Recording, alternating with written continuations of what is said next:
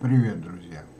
Ну, мне там часто звонят или задают вопрос, э, как нам узнать метод ключ, э, как э, консультацию получить или там как к вам попасть. Я говорю, берите все бесплатно там.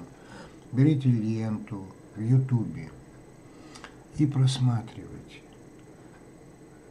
Вы просматриваете, просматриваете, просматриваете, и ты вдруг найдете столько интересного, столько полезных приемов, принципов, правил, как подбирать собственные упражнения синхронизирующие, что это вообще такое, да, что это дает, кому какие упражнения подходят, потому что вся наша задача – это чтобы человек научился управлять своим состоянием сам.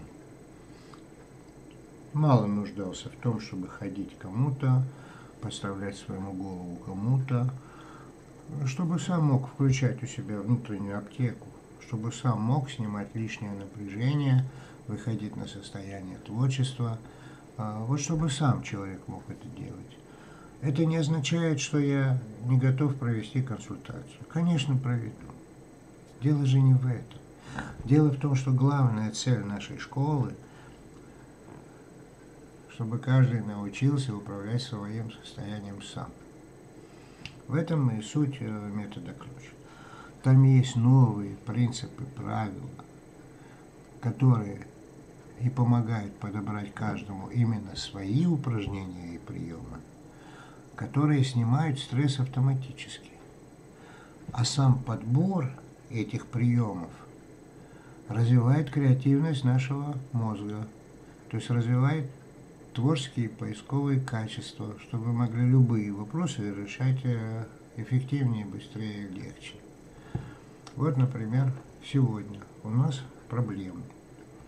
Проблемы. Я вот, например, картину нарисовал в свое время, ну, целый год ее рисовал, но никак не мог я вот эту руку найти и эту руку найти. Но все время перебирал, перебирал, перерисовывал. Там столько слоев, это с ума может сойти. Личные отношения, они же очень сложные. Самые сложные во Вселенной – это личные отношения. А еще знаете, что самое сложное? Личное время. Личное время. Потому что человек это homo sapiens, человек разумный. Для того, чтобы он был разумным, он должен иметь какое-то личное время. Вот для чего нам приемы ключа нужны? Приемы ключа нужны для того, чтобы вы могли из суеты выходить, из смятения, из шквала эмоций, а, из потрясений, из страхов, э, выходить из шаблонов мышления, стереотипов, вот так выходить и думать своей головой. И думать своей головой. А вот это вот называется картина, почему я показываю, она называется «Милый, у тебя температура». Вот, посмотрите, какое отношение личное, да?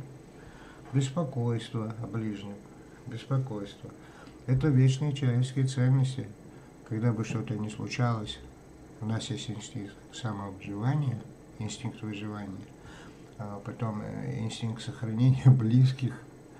А чем выше уровень развития у человека, чем шире масштаб мышления, тем больше у него переживаний не только о себе, о близких, но вообще чем выше, тем и обо всем человечестве. Да, это очень интересный момент. И поэтому, когда мы говорим о развитии человека, о законах эволюции, нам надо учитывать что мы говорим не о конкретном человеке всегда, а мы когда говорим человек с большой буквы, человек разумный. Поэтому у него инстинкт выживания тоже такой интересный. Постепенно в процессе революции, эволюции революции в происходит, переходы количества в качество, открываются новые новые уровни и возможности сознания – которые заложены во всей линии эволюции в каждом конкретном человеке, открывается тем, что инстинкт выживания переходит в такое состояние, состояние созидания. Потому что когда мы что-то создаем, мы тем самым помогаем всему человечеству. Вот смотрите, Пушкин. До сих пор его нету, а нам он помогает. Леонардо да Винчи, его нету, а нам он помогает. Ну, все, кто создавали что-то новое. Они создавали и новые направления, и новые школы. Все очень много чего создавали. Но сейчас я хочу сказать. У меня есть новейшая модель работы мозга. Вы ее можете посмотреть на сайте Стрессу. Вы ее можете прочитать в книжке «Укращение стресса». Там у нас меню магазин есть, и там можно ее увидеть в электронном виде, потому что новая книжка выйдет сейчас в БСТ, ну буквально скоро уже выйдет. Вот. И там есть новая модель работы мозга. И в этой новой модели работы мозга есть четыре базовых агрегатных состояния. И пятое – это переходное между ними, нулевое состояние. Нулевое. Там раскрывается, вы можете посмотреть, почитать, поинтересоваться. Но что интересно, обычное состояние бодрствования, там много доминант конкурирующих. Они нам позволяют думать то об одном, то о другом, а, и в то же время они не затрагивают процессов организма. Организм работает автоматически, биоавтомат, который в эволюции выработан за много миллионов лет. А вот когда одна доминанта, это уже не обычное состояние бодрствования, это транс. Влюбились вы, у вас одна доминанта. Или переживаете какое-то горе, потерю близкого, одна доминанта. Доминант – это фиксация внимания. Это максимальная сосредоточенность внимания на чем-то. И вот тогда уже она, в зависимости от содержания, влияет на процессы организма. Потому что конкуренции нету. Энергия мозга распределяется только на нее. Она уже влияет. Так вот мы постоянно живем эти четыре состояния и пятое переходное между ними нейтральное, это как времена года. Все время происходит самообновление, самообновление, как обмен веществ в природе. Мы постоянно живем то в трансе, то не в трансе, то в трансе, то не в трансе, то в промежуточном состоянии нулевом между сном и бодрствованием, то в трансе, то не в трансе. Вот вы услышали какую-то новость, впечатлились в трансе. Есть некоторые такие, которые и уснуть не могут из-за этого. И температура может подняться. Да, испугались. В трансе. Стресс – это неуправляемый транс.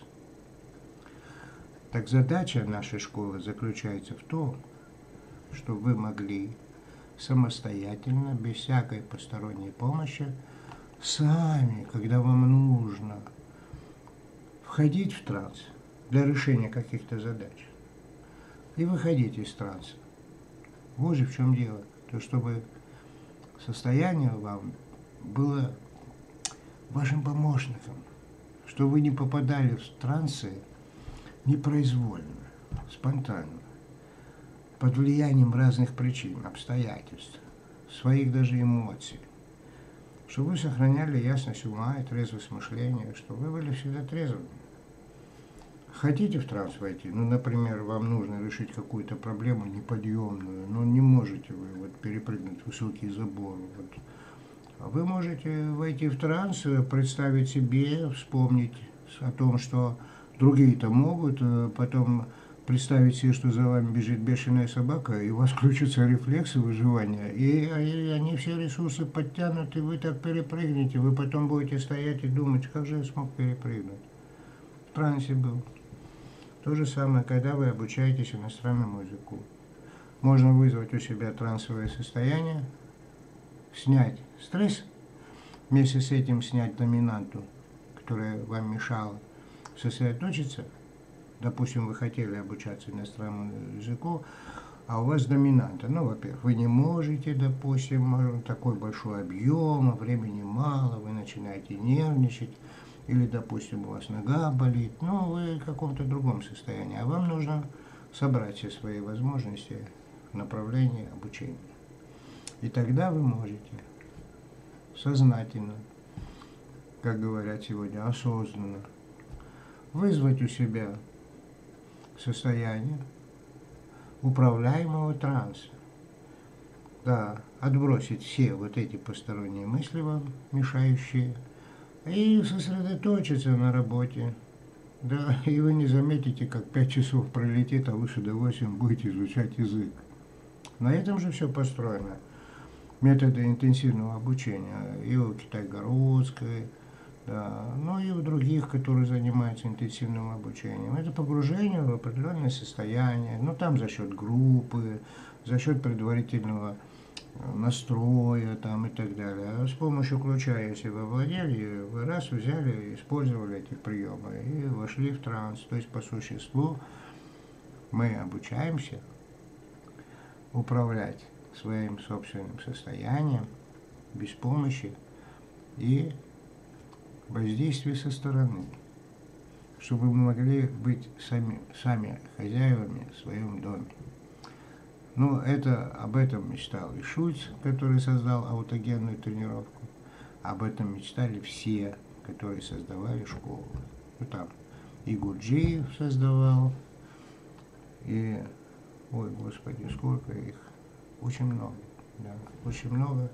Да, с каждым роликом моим вы будете все больше и больше открывать для себя информации, принципов, правил и приемов, которых нет, других методов никогда не было, с помощью которых сможете подобрать себе ключевые приемы, с помощью которых снимается стресс, выходите на творческое состояние, а когда хотите, включать у себя легкий транс для решения разных задач, одним, одной из которых является выбор или принятие какого-то решения – а другой задачей может являться ее реализацией. Да, чтобы вы, обуреваемые созданной собой собственной доминантой, несмотря ни на что, добились своей цели. Да, вот, вот, вот же в чем дело. Потому что Ухтомский великий говорил, кто управляет своей доминантой, управляет своей судьбой. Правильно, потому что Ухтомский, читайте Ухтомский. Я очень люблю Ухту. У нас школа великая, я стою на плечах гигантов. До встречи.